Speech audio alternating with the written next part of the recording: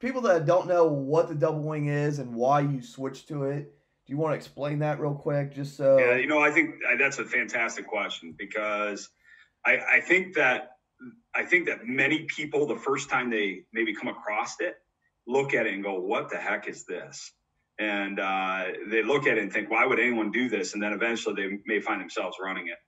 Um, you know, the, the, offensive football, 101 in our world is go forward. And honestly, since 1997 or so, when I was playing college football, I remember having that philosophy of, hey, offenses that go forward are better than ones that don't, which obviously that's a pretty simplistic thought process of football, but I was a center. So what else thought process would I have, right? Um, and the double wing is a, you know, a system that obviously emphasizes that. Um, it's a reduced split offense and part of the advantage of the reduced split is that you're trying to create maximum power in every movement. So, uh, the, one of the ways I explain this to guys is the more horizontal spacing that you have, and it doesn't matter if you're two by two or if you're uh, a zone based scheme, it doesn't it doesn't matter the offense or, or wing T, a dive based scheme. The more spacing that you create uh, horizontally with your splits of your players, splits of receivers, and whatnot, the less potential power as far as vertical movement and get off you can create.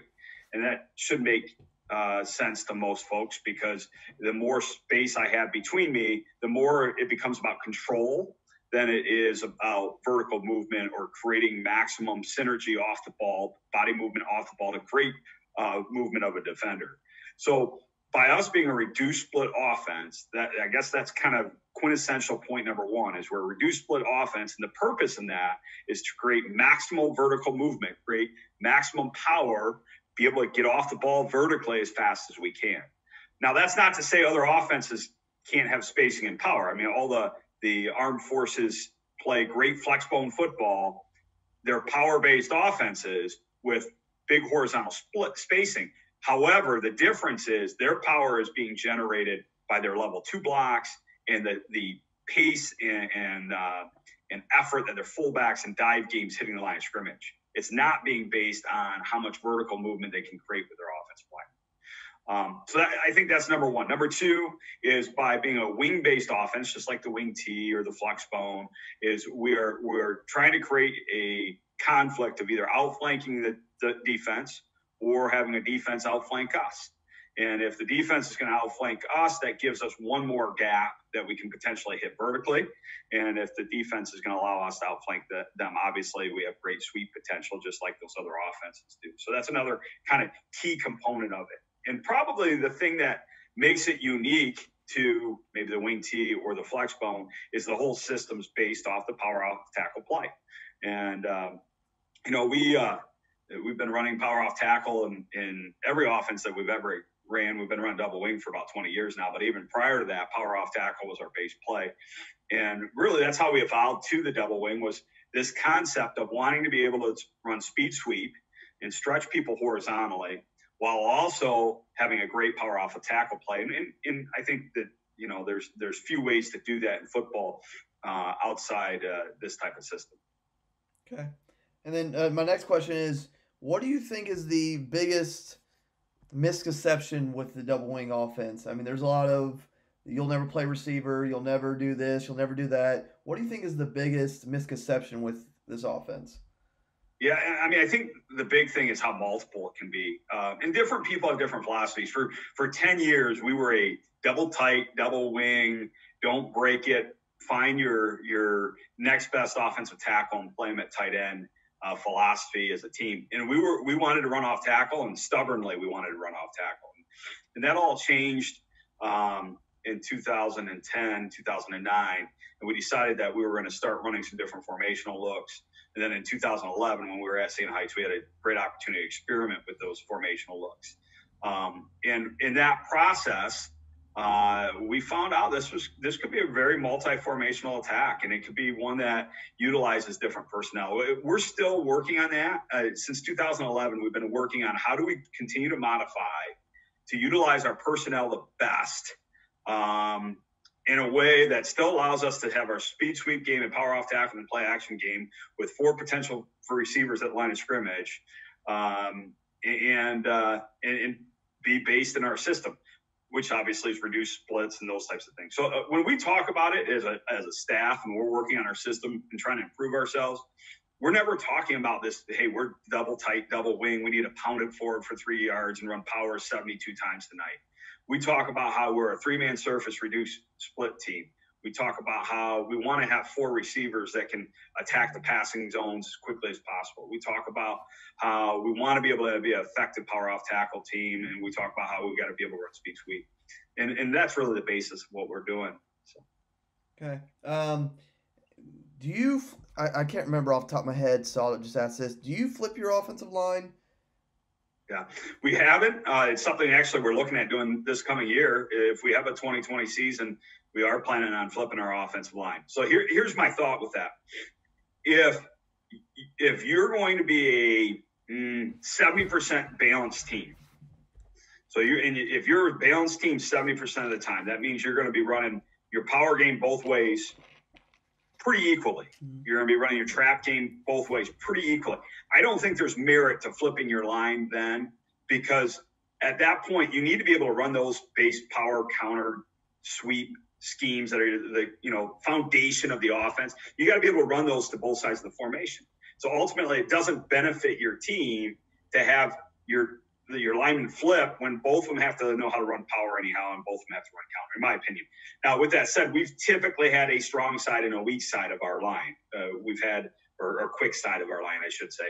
Um, now, we're looking at being formationally a little more unbalanced next year. We're looking at more closer to like 10 to 20 percent that we're going to be unbalanced. When I say unbalanced, I don't mean an unbalanced line. I mean a structure of a three to four man surface on one side and a two to three man surface on the other side. And by our line not being balanced to both sides, I think there's a lot of merit to be flipping, like the wing T guys do, because that's that's their reality. You're going to run specific plays and certain plays to either side of the line. So why not cut your practice time in half to maximize that? So I think that ties more directly to um, your foundational alignment uh, focus and goals, more so than necessarily uh, you know what offense you run. Okay, so what, you actually just gave me a great idea for a question. Um, in terms of practice time, how how how do you typically structure early practices to I mean, obviously you've been at your school long enough to um, to where a lot of your kids year to year know what you're doing, know your system. But how do you typically structure your practices, especially like early summer, um, getting in two days and stuff to install your offense? Like, what do your periods look like? What yep. what, what does that process look like? Yeah, I'll, you know, I'll show you a script here of exactly what we do. Um, I, I, know I recently had up a, a script here of day one practice. So let me see if I can find that. Um, so f- first off, for us, the, it starts in the summer, and in the summertime uh, in Michigan, you're allowed to work with seven players at a time. We spent a lot of time um, during that working on blocking fundamentals, you know, pass game, obviously all the same stuff probably most people are working on. But we have a progression that we go through in our seven man workouts with our offensive linemen throughout the summer. Um, that is foundational skills, uh, which we believe is probably the most important uh, part of the initial teaching. When I've gone to a new school, which I've done a few times, uh, what we've done with that is eight two hour sessions and we ran them as camps. And it's all just blocking fundamentals, blocking 101 type stuff. And, and it's nothing, it's nothing earth shattering. It's a two hour clinic in itself. Uh, but at the same time, it's, uh, it's, it's getting kids to bend their ankles, knees, and hips it's teaching kids the concept of leverage. It's teaching kids how to extend their hips. It's teaching kids blocking service, which we're both a hand and shoulder blocking surface team. So teaching that technique, teaching kids how to then finish and, and get proper footwork into their finish. So that's the starting point. And then we go into our installation, um, our installation stuff. And our installation stuff is, is built around obviously our play installation and practices. This is from this is from 17, but this is day one, practice one from 2017. And we started it with a wedge drill and doing team wedge. And then uh, in that, we had three periods of individual. Once we get through our blocking pre- uh, progression stuff, there are three main drills that we do every single day with our linemen. and it's our six point drill, it's our shoot drill, which is also a board drill, and then it's a sled, uh, two man Rae Crowther sled. And we really, really believe in the two man Crowther sled. Bob McKittrick has a video from the early 90s.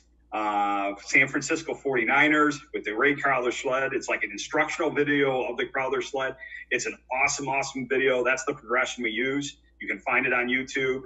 Uh, we saw it about eight years ago. And I, I, would recommend anybody who's watching this to go to the Bob McKittrick uh, Rae Crowther sled YouTube video. I think that's what you have to type in is Rae Crowther sled Bob McKittrick to find it on YouTube. But uh, it's like a three part, right, cut out of the 1970s, you know, high coaching shorts with double buttons. It's perfect. It's a beautiful thing. And then we do either a double team drill or a six point drill every every single day. Um, after that, we go into our group drills. Our main group drills that we do are trap drill, which we always do with group pass. And then we do a perimeter run drill and we do an inside run drill. We do at least two of those every single day. Um, and then we go into our team drill. And, and group pass trap drills just about every single day. So that, that's what our basic uh, instructional series looks like. And we, we follow that just about every day all year long. And, and you'll know, you know, on this script, so this is day one there's 12 periods of offense, and that's about where we're at. And, and like all coaches, I never run over.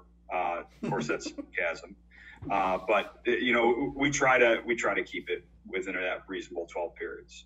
Now, now I have to ask because I see at the top it says Team Wedge, and I am probably after my two years working for Derek Catris, one of the biggest fans of Wedge in human history. Um, what does Team Wedge look like? I'm now now I'm curious. Yeah. So what we do is we'll take uh, our center and uh, you know the, the, left guard, for example, and we'll work on just their wedge fit. So for us, we teach it with the hand going right above the buttocks and the small of the back, and the shoulder. So if it's left guard, his right shoulder would go uh, in the center's buttocks, and then the left hand comes in and touches the, side of the thigh of the center. So we just take the one step with the center and guard, and then we'll bring in the right guard, and they'll take the one step, and they they form a V uh, with both hands going to the small of the back, both hands come to the side, and stay square. Then we'll bring in the tackle, do the same thing with him. He'll work obviously the guards uh, backside, putting his hand on the small of back and staying square. He typically has to take one and a half steps to get that same alignment and then we'll bring in the tight ends and they'll do the same thing. And then after that, we'll put a defender, and it's usually me, it's usually one of our coaches, right over the center, because what the center wants to do on wedge often is, is take off. He'll want to run out. And he can't do that. He has to he has to be able to, to just hold his position, creating elevation on the nose tackle. That's his only objective is try to create vertical lift of the torso of the nose tackle. And if he can create vertical lift of the torso of the nose tackle, the push and the power actually comes from the players behind.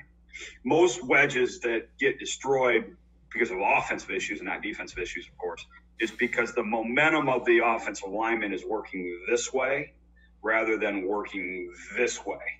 So the, the initial goal of this is to get all of our players to get their momentum square to the line of scrimmage as they're working horizontally, if that makes sense. Mm-hmm and then we're going to try to create vertical push on the center. Well, if the center takes off, he just runs out of there. As we're working horizontally together, square, he's gone by the time we get to our alignment. So it's critical that the center just works to get vertical lift, and we do a, a double underhook technique on that. Try to get lift of the torso, and then we bring the defenders behind, creating vertical movement. Um, so when you when you install in the summer, do you do everything just straight on the field? or do you have classroom time where you draw stuff on the board, you show film, etc.? So before uh, when we get into the regular season in our regular practices, before we go out to the practice field, we practice three hours a day. That's it. So I, I would say we're pro- pretty minimal as far as on the field time. We do spend an hour in film uh, each day uh, prior to the start of practice, and we review the practice film from the day prior and we alternate between offensive and defensive film. So one day we'll show offensive film, the next day we'll show defensive film uh, for that whole hour. So we invest a lot of time and focus on the one side of the ball, um, and we will hit a little bit of special teams in most of those as well. Okay. Um, personnel wise, what what what what are you? I mean, everybody's got a different priority. Like I listened to I, to Bob Jesowich, Dublin Jerome talk, his biggest priority is finding five offensive linemen, a quarterback, and then he just puts the next best five on the field somewhere. What is your priority when you're putting together your personnel? Like, what is your that, priority? Yeah, you know, I think that's a huge question, um, and I think that's actually, Nick, that's a great question because I think that's something that I didn't really start thinking about until you know maybe year 11 or 12 as a head coach uh, and now I, I, going to year 20 ish here, it's like the, that's a priority, you know, like that's, that's number one thing we start looking at. Um, so to, to start out the, to answer the question in a way that you're probably not looking for is defense. We, we start looking at our defense. We want our program to be defensive minded. Uh, we believe that, you know, you know, the whole defense wins champions thing. Yeah. Everyone has some, some belief in that regardless of how good these offenses are, there's, there's still the teams with best defense are winning the national championships and big championships. But there's another piece to that that I think really matters. It's the type of mindset that you want your school and your program. So if everything that you do in your program is based around uh, Johnny Smith, the, the star quarterback, or Johnny Smith, the star receiver, and your culture within your programs built around those types of guys, I think it's very, very, very difficult to, to build a consistent program that wins year in, year out. Ultimately, you have to have guys that are really unselfish. You have to have guys that are that are team committed. You have to have guys that are are willing to work hard. You have to have guys that are physical, regardless of the schemes that you run, offensively or defensively. And when you're a defensive minded program, all of those things are defense. Those are that, those are the foundational roots of defense: is being unselfish, being willing to hit, uh, I, I, you know, putting the other guy in front of you, that type of thing. So we start there. Uh, with that said, offensively, we want to find seven offensive linemen. So we, we want to identify who our top seven guys are.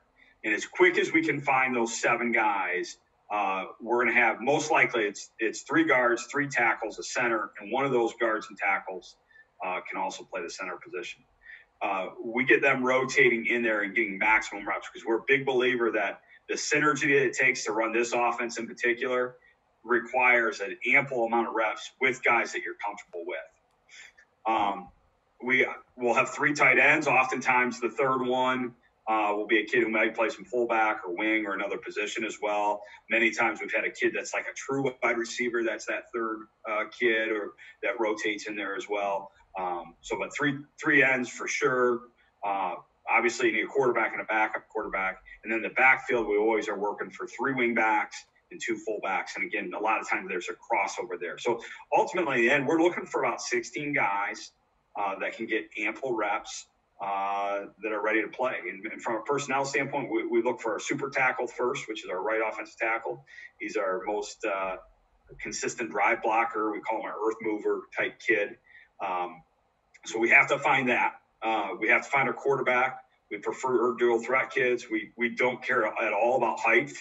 Uh, length doesn't matter to us at all. In fact, the best ones we've had have been uh, kind of undersized, quick kids.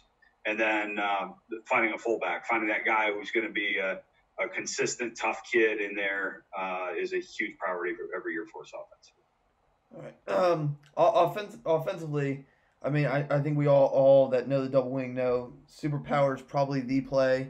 Um, but I know you're also very fullback oriented, where some teams are a little more wing oriented. Um, what, in in your opinion, what, what is your order of ne- necessary? like, if you're year one, um, double wing, double tight, double wing. What are yeah. your what are like the three to five plays that have to be installed in your opinion?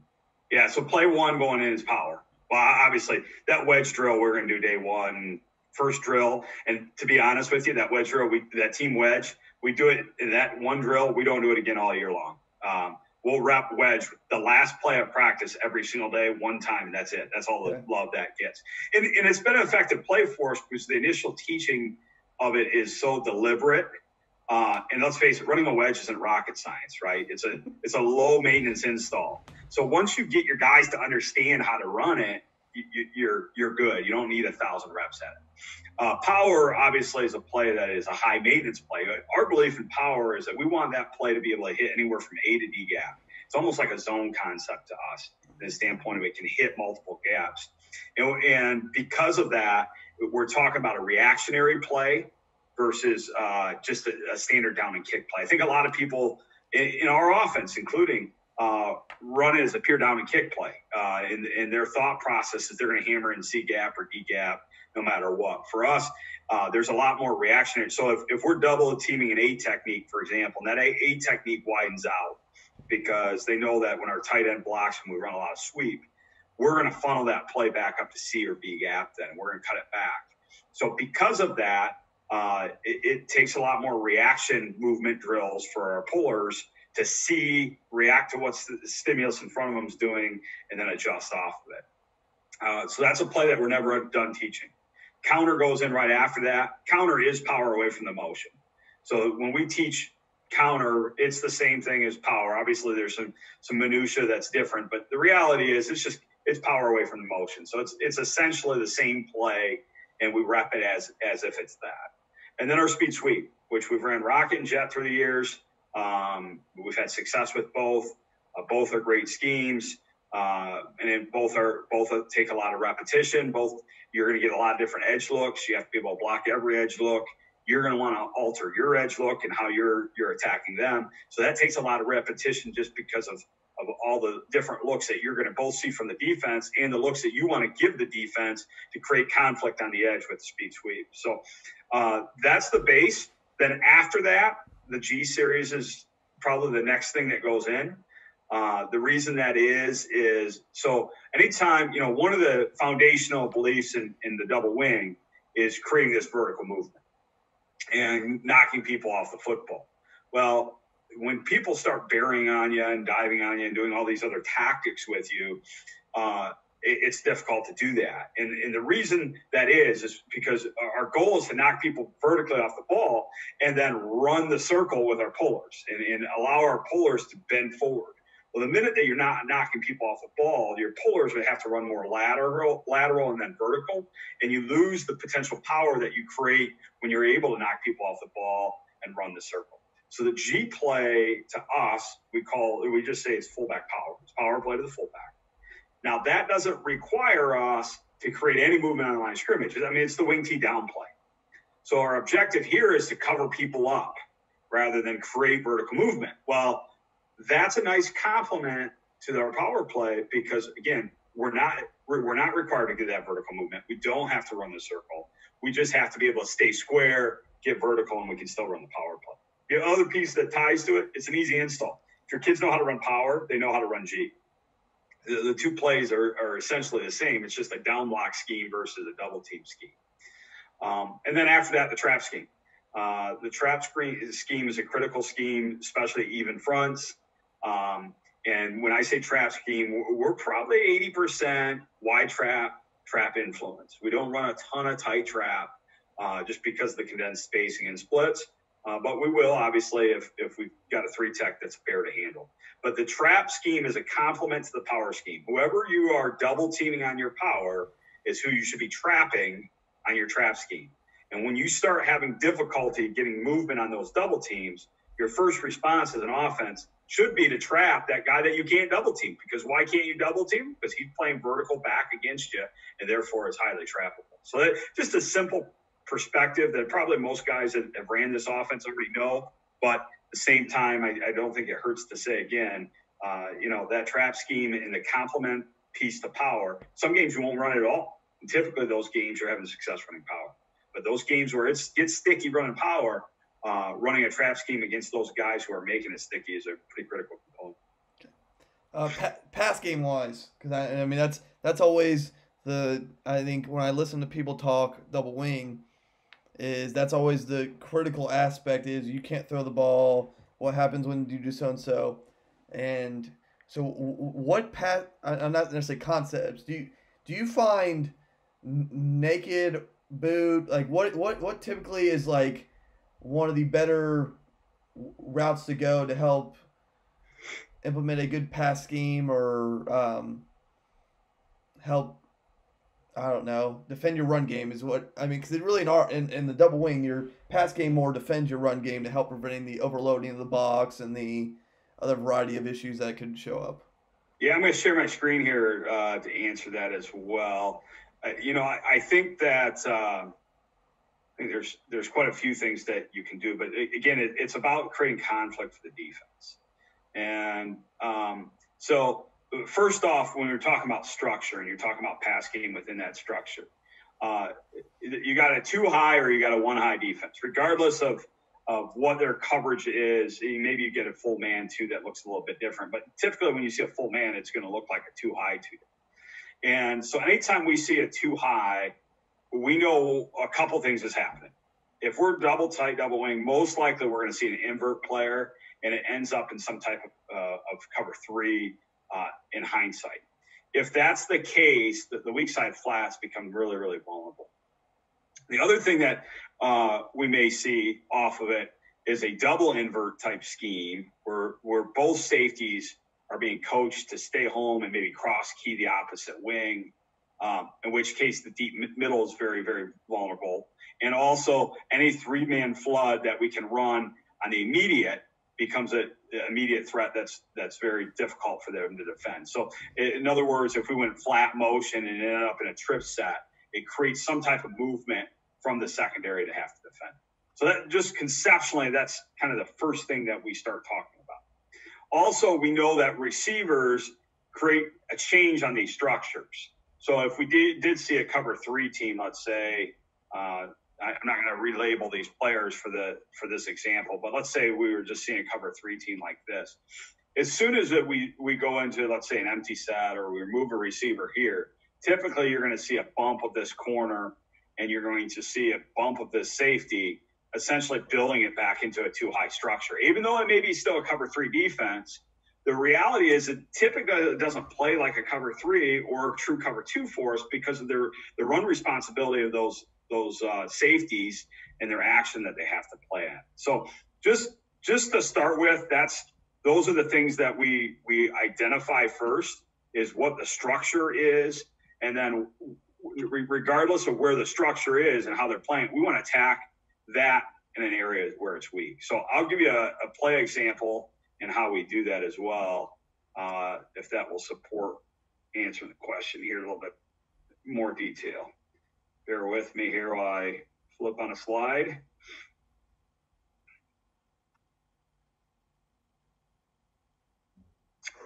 So one of the first concepts we teach is our pop pass.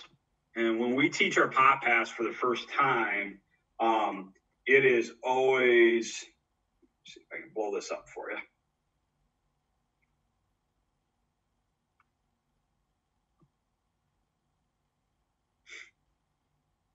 There we go. Um, it, it is always out of flex, our flex formation, where we have two displaced. And just, and, I, and I'm going to show you this more to show the instructional structures that we use for all of our pass game than necessarily to uh, try to sell this particular play on you. But we'll run this out of double tight. We'll run this out of tight. This is a universal play for us. But in our initial teaching, we always teach it out of flex. Um, when we run it out of flex, this is what we teach our quarterback. We teach our quarterback that is there's one safety in the middle of the field. We want to run our pop. And on the pop concept, we want our wing back to attack the outside linebacker, whoever the overhang is, whoever the contained defender is. We want to attack him with it with our eyes and our body and our soul, like we're going to block that player. And when we attack that player, and that player sees our eyes and sees our body position, he's got to attack and honor sweep play, which allows us to plant and get vertical right off of. We want to attack that window, that vertical window, right behind that linebacker. Um, anytime we have one high. If we have two high defenders, we got two safeties, we then look are the corners soft or they press? If the corners are press, likely they are playing our run support. They're the primary run support players, which case we generally want to run some type of crack scheme on our on our sweep stop. However, with when it comes to the pass game, we run a fade to number one on this side. And our quarterback, again, will reverse pivot. He'll see the press corner. He'll see the safety over the tack. We're going to occupy the safety with the pop scheme. And then we're looking to throw the window to the number one fade uh, outside of that. Again, this corner is, typically looking at our wing. We're staring in the backfield. and is maybe a little slow to reach that fade. We also use the, the rocket sweep action uh, pathway is our is a swing route off of that. So if, if we see the fades real cloudy, don't want to mess with it, we'll pop it out to the uh, the rocket uh, swing route as a, as a safety valve. And then if we have too soft, if both corners are soft, and we got it too high over the top, uh, about 99.9% of the time, then we're going to see some type of invert. And when we see that type of invert to motion, we want to hit the, the seam on the backside. So we'll run what, our quick slant route, which is a vertical seam route for us. Um, he drives hard uh, vertically for three, and then he works into the seam on the slant. Uh, we'll look to throw on the backside. We tag that with a throwback. So too soft, uh, you know, again, we've had a quarterback be able to read that in the past, but typically we'll, we'll call it from the sideline that uh, we know we're going to get invert and we want to throw that window, that seam on the backside. Obviously, we get a nosy safety out of one high. That can be a good look as well. So that, that's just one concept that we run. Um, then we'll, we'll, from flex, we'll bring in the tight ends and, and, reduce their split, and we'll put them in a tight slot, and we'll teach the same concept of a tight slot, which for us is pop skinny. So this is the exact same concept for us uh, that we're teaching our kids but it's just out of a tight slot formation rather than a flex formation. And obviously the routes alter some here. We run we run a wheel route off of this. It's the same concept as the pop though. He's he's he's attacking like he's reaching the overhang and then he's working vertical off of that. We're running a skinny at the one high, or we're running a skinny inside of the two high, and then a corner out on the backside. If we get a one high defender, we get a one high defender, we throw the wheel to the throwback the throwback is always our throwaway ball on this.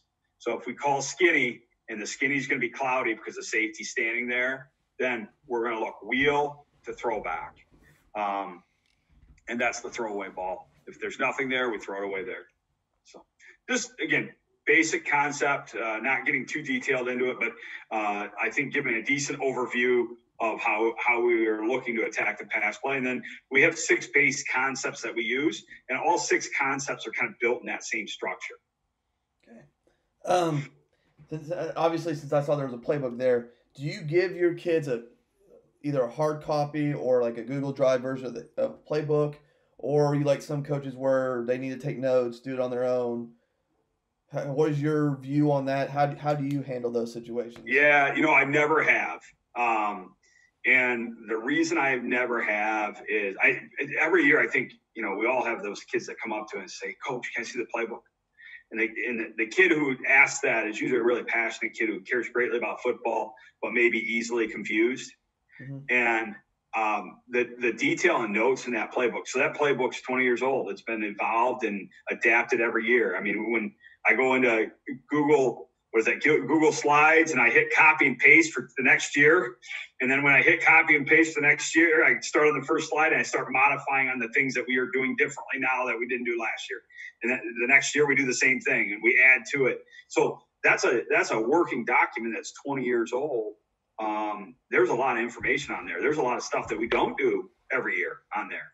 And when I do give that to kids, it, it usually is kind of a mess because uh, they're overwhelmed with the detail um, and frankly, a lot of our coaches, I don't, I don't know that it's all that helpful to a lot of them. Even I think the best practice for them is to to give it to them as an overview and as a backup document. But uh, I feel like our best instruction for our coaches have come in our retreat. We do a retreat every year, and then we try to have our lower level coaches coach with us at a camp, uh, so that they have a hands-on experience at our camp and they're doing it with us um, before they go work with their kids. But um, it, now I say that this year we created a, a, private website for our kids to go to.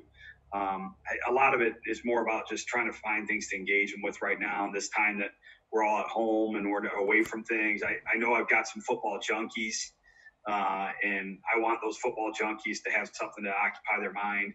It's not even really about how much they're gaining, you know, cognitively from it. I, ultimately, I think I think this year is going to be like kind of, you know, if we play a 2020 season, I have a feeling it's going to be a lot like the 72 season where everybody shows up in the fall and we, we get conditioned the best we can to start with and we have basic playbooks because that's what we're going to have time for and we go play ball. And, and we get kids to play. And I, and I hope we can provide that for our kids. I hope uh, you know our seniors certainly deserve those opportunities. So, I in my mindset right now, I, anything that we're giving the kids, conditioning wise or uh, uh, playbook wise, I'm not sure if it's really giving us an advantage at all or creating a disadvantage if we don't give them. I think it's just more about keeping kids engaged and active and mentally sharp and and together and and just caring about people in society is more of my mindset than necessarily any growth.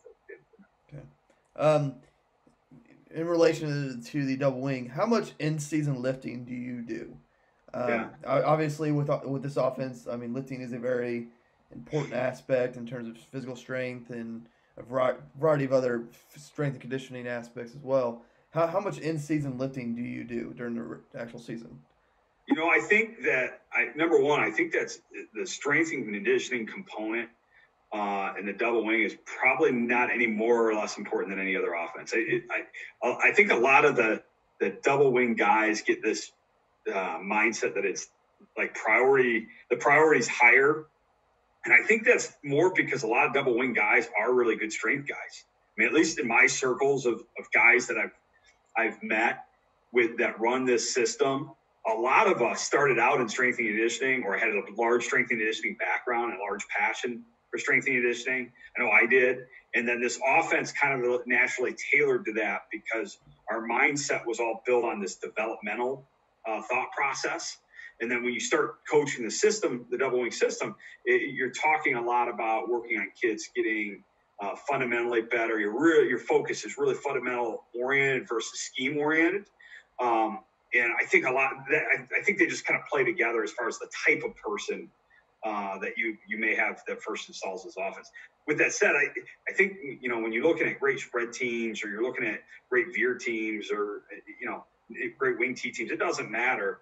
Uh, they're great because they've got great strength and conditioning programs. And uh, I think that's a parallel amongst great programs. I don't think that's just a parallel of double wing teams. But uh, in season, we're there twice a week. Uh, right now, the majority of our kids have lifting class, so they'll, they'll lift during their school day. Uh, RJ Rios is our current strength coach and does a great job with them in there. Uh, after school, in the, in the entire school year, and this is something that's kind of unique, we lift two days a week, uh, basically from November till June. We, we don't go to a three day week program until the summer. And the reason that is, is I always felt personally that I had my greatest gains when I was on a four day week program. I go upper, lower, upper, lower. I always felt that because it's a couple things. Number one, mentally I could handle it. Once I got started getting to five, six, seven day programs, uh, I would get I would have those days that it was a fight to get in there because of the daily schedule or whatnot. Uh, four days I could always seemingly find four days to get to the gym for a little bit. Number two is I was hitting my upper hard and my lower hard every other day, and, and then I would have the recovery day, and I'd be able to get after again. Um, what we decided was if you're on a four day program or a two day program, it's essentially the same, just a two day program to total body. Uh, we've always had issues getting good numbers on Fridays because on Friday after school, everyone wanted to go home or go do whatever they were doing for the weekend. Um, so, probably about 10 years ago, we decided we weren't going to have Friday lifts anymore. And we started going uh, Monday, Tuesday, Thursdays. And then at some point in that time, we, we realized if we're doing an upper on Monday and a lower on Tuesday and a total body on Thursday, why not just have two total body lifts and go Monday, and Wednesday? And to be honest, our strength gains have been better since going to a two day program than they ever were on a three day program. What do you think is probably the most undercoached thing in the double wing? Um, and, and, I, and, I, know that's a really broad question. Yeah. I mean, that's being very broad with it. Um, you could take that in a lot of directions. Um, hell, you. I, let, me let me attack it this way. I think that one of the things that us as double wing coaches have to protect against is uh, a mindset that all that matters is power. Um, I, I, I think typically, I, typically, at least in the initial install, you get so much better as a program when you first put this offense in. Oftentimes, because of the power play, because you can you can go forward and you can knock some people backwards and you can move the chains. So, you know, a lot of teams are putting this offense in because they haven't had success. And uh, when they first put it in, they have immediate success because maybe maybe they were punting, you know, five or six times a game, and now all of a sudden they're punting two times a game, and and it, it's significant improvement. and then I think sometimes there's this thought process that oh we just got to get better at power we just got to get better at power we just got to get better at power and the focus and emphasis becomes everything surrounding around power. And the reality is your kids want to become better football players. So your, your kids aren't worried about just hammering their head against the wall uh, trying to run power better. They if they're a quarterback, they want to develop as a passer and as a runner and as a guy who understands the overall scheme and and un- understands the total game. And your ends want to become great ball catchers and they want to be good blockers. And they, so I think that is probably the major concept when I when thinking about us guys us guys who run this offense is our focus has to be on the development of players and development on their skills that they want to to become great at rather than uh, you know, maybe our desire or simplistic approach of a, we just got to get better at power. Um, and I think that's a transition that I know I went through as a coach. I remember as a as a young coach thinking, man, if I can get this so perfect where they where we're like robots, nobody will ever stop us. And although that's true, it's not realistic because the reality is they're they're not robots. They're human beings that want have their own desires and passions and goals, and they have goals in this game afterwards. And I know that there was a significant change for me as a coach when I started really spending a lot of time trying to figure out what they wanted out of the game, rather than what I wanted out of them. What did they want out of the game? What did they want out of this experience? And how could I embrace what they wanted within our team goals? And uh, I, we had a we had a big change. Uh, from a program standpoint and from a developmental standpoint. And we've had a lot more guys want to play college football and go on and play for four years and things like that since we made that change philosophically. We still had success both ways, but there's been a big change. And I think the fulfillment of the experience that our kids have had, and it, let's face it, that matters a lot more than anything else. A couple questions just so we start wrapping up. I want to go back to practice real quick. Do you, I'm, because my experience when when we go we we could never predict necessarily what front we were going to get. So during yep. the week, we always practice five and six man fronts. You do, yep. I mean, I know you see a lot of the same opponents. You've been doing this for a long time now, so you probably get a lot of the same looks. But is that still a philosophy for you, where in practice we'll show a variety of five, six, seven man fronts? Yeah. So that's a great question, and, and so ultimately, eh, you're right. And then I think there's a different different page to this too. So uh, basically, that four four six two look and a five two seven two look, most double tight double wing teams see the most of, and I think I think that's probably pretty universal. Uh, one of the things that we identified was that that we felt like that five two seven two scheme was probably the the most common one we eventually we saw when we stayed at a place for a period of time. And I think a lot of it was the I think it was the guy's name was Dick Dick Bruick out of uh, um, oh he was in the Bloomington area where uh, Don Markham was. So Markham put this in in Bloomington. There was a guy named Dick I think his name was Dick Bruick that uh, ran a 7-2 concept against them, ran it pretty successfully, put it on the internet, uh, you know, how to stop the double wing. And I know it was mimicked a lot, and it, it was a very, very sound scheme. We felt like if our wing backs could block the overhang defenders, uh, we, we could move the ball very, very effectively against that look. However, if their overhang defenders caused our wingback issues, then it was very, very sticky, very difficult to move the ball, and, and it was going to be a fight to score 14 or 21 points in those types of cons and those types of games. Uh, when we started going into a multi-formational system, when we started bumping in things, and, and really that that for that defensive front was was the impetus for it. That was why we made that change. When we started bouncing formations, uh, defenses got a lot more static for us. I think it's twofold. Number one, if we're going to give eight, 10 formational looks, probably on the scouting report closer to 16 to 20 formational looks, uh, the defense has to have some hard rules. And those hard rules are going to be more aligned to what they run week to week, uh, or else they're going to be, their kids are going to be confused. So that's one piece of it. I think the other piece to it is a lot of the odd front stuff that we see uh, we have some ways that we can take advantage of it pretty quickly and pretty easily. Um, and, and, because of that, uh, typically we see more even fronts and which again puts a lot of people in that four four six two look. Uh, and, and, again, they may be an odd front team that walks off a guy and bumps their front, or they may do it in different structures. But in the end, what we're seeing pretty much one common defense now, uh, week in and week out. And, th- and, it, and it, it, makes sense to me with as far as the different looks we're giving, the different structures we're look, giving. And frankly, uh, I think that's one of the reasons why we've run so much empty over the last couple of years is because that puts a lot of lot of pressure on a eight man front, eight man box. In terms of form, going back to formations, because like formations is one of my big things. One of the things that I truly enjoy about this offense is ability about being multi-formational and and to run the ball so well. Um, do you have a plan every week on how many formations you want to use a game? Is there do you kind of just leave everything with how you do it? Actually, actually, let me go this way. How many? How do you structure your formations? Is it tags or is it formation names? And that's and we yeah, can kind so of expand off that. Yeah, and I'll give you kind of the structure of how we install them as well. So we start out with double tight, double wing. Okay. And the first day of practice, we have double tight, double wing in, and we have over under in. Those go in right from the get go. The reason that is, is we flip our tackle on, on over under, which over under is unbalanced for us. Okay. Uh, so it'd be unbalanced with a split end, still double wing formation. We flip the tackle over. So now that creates some changes in rules for that tackle uh, that's on the outside aligned in the tight end position and for the tight end who's on the nub side or the weak side of the formation. He's kind of got some of the tackle rules, and the other boy has some of the tight end rules. So by doing that on day one, where we only have wedge and power in uh, schematically, they're learning those base rules from both of those alignments.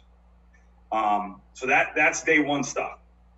After that, um, we'll put up, up right end, up left, which is just putting the wing on the line of scrimmage. That's significant.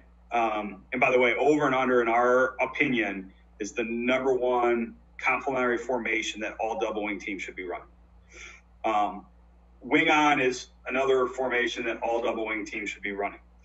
That is significant because if you do play teams that are going to create issues with their play side uh, linebacker and his insert being so fast and physical you can't get to him, you've got to be able to walk your line your your wing up on the line of scrimmage, and it may be to trap because you may tra- end up trapping that insert player.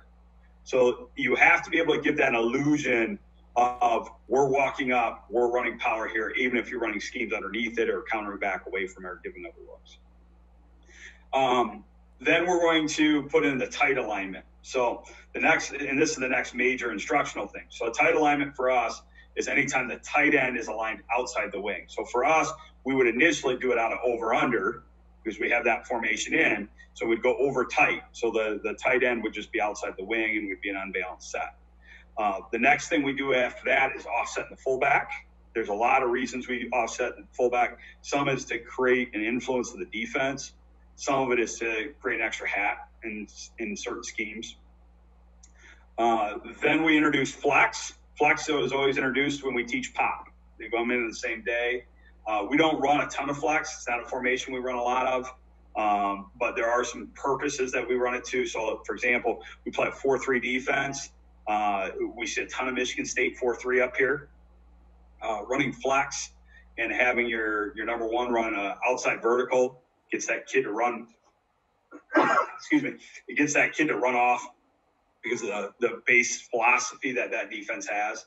And then when we've had a fullback that's a, a decent runner, which typically we do because we do start our kind of our our personnel with our fullback position, uh, attacking the flat with the will linebacker being conscious of of his wingback. He's got to see his wingback was motioning away, and then his eyes typically go to the far wingback. It makes it a very, very difficult coverage in the flat on waggle to that fullback. So that's that's a concept that we run when we see four three teams a lot, that type of and then we'll go tight, which takes the tight ends right outside of it. And then we start introducing our empty stuff. And all the empty stuff is is complements to all the regular formation. So we would word it like this. Uh, we were over tight. So we're over formation, unbalanced to the right, and tight, meaning the tight ends aligned outside the wing.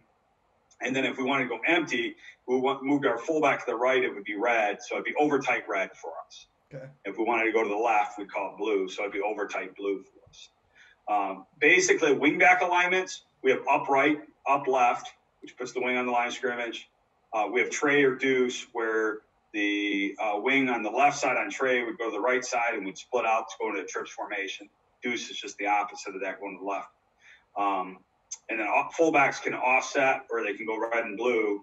And then on line scrimmage, we have double wing, we have tight, we have over, uh, over tight, obviously, and then flex. So once you start combining all of those together, uh, and then of course we have stack I that will line up in two. Once you start mixing those, there's quite a few different possibilities uh, of getting in. And once the kids know what their purpose is in each of those, it doesn't really matter if you mix them or not.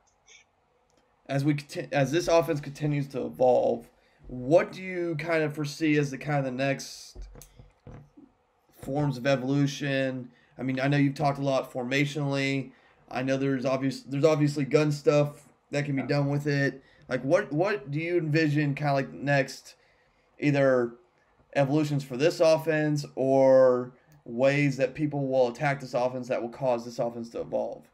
Yeah, you know, it's a great question because it has evolved. I mean, you look at the, the, the gun double wing stuff, which it obviously has a lot of single wing principles to it. I mean, um, I, know that oftentimes when gun double wing comes up, the first response you get is no, that's single wing. Um, and, and, it is in a lot of ways, but there are some there are some differences. There, we play a Sand Creek's, a team in our league who does a great job with single wing offense. Um, and, and it's very different from, you know, what Murph's done with the shotgun double wing and, and what a lot of the other great coach double wing coaches have evolved out there. Uh, we, we've messed with that a little bit. And our concern was we lost two folds of our three-fold principles.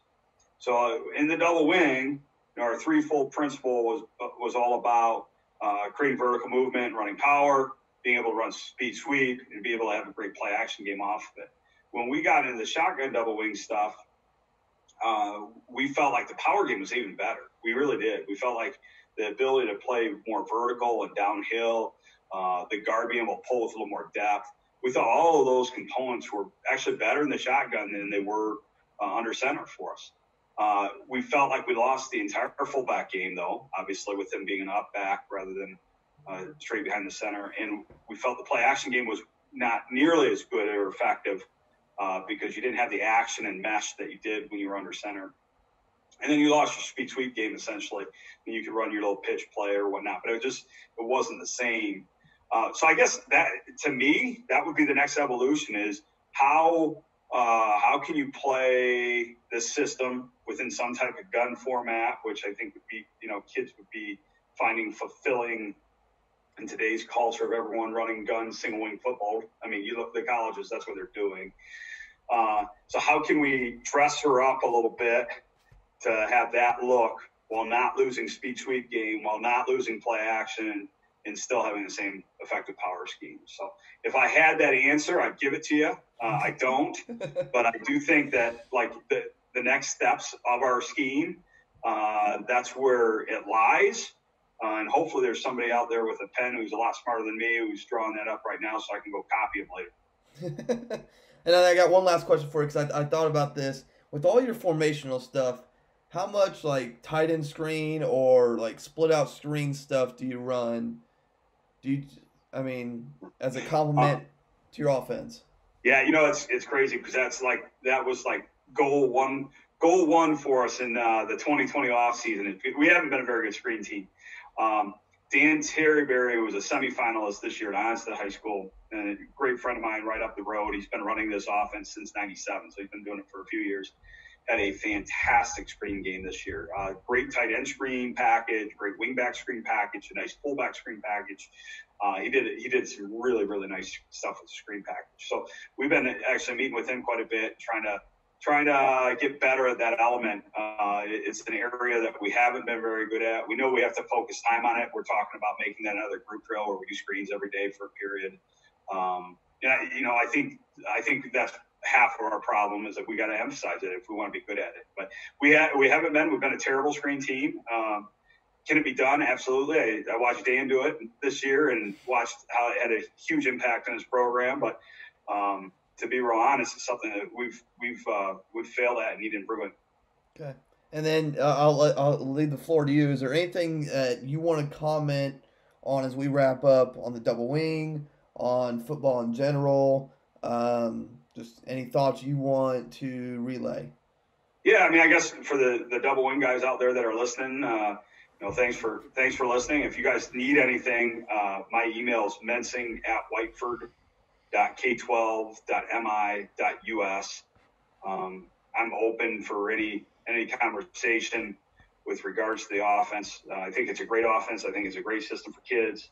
I think we as double wing coaches have to continue to focus on investing in our kids rather than uh, rather than trying to have them uh, all do things perfectly for us. Us finding out what they're looking for in their experience and invest in it. Um, so, to you, Nick, I appreciate the work you're doing with this uh, YouTube uh, website here and, and, getting information out to coaches. Uh, it's a, a, gift of your time, and uh, I think anything that helps our game grow and expand and builds fellowship amongst coaches is a good thing. So, Nick, I appreciate you. Thank you. I appreciate that, Coach.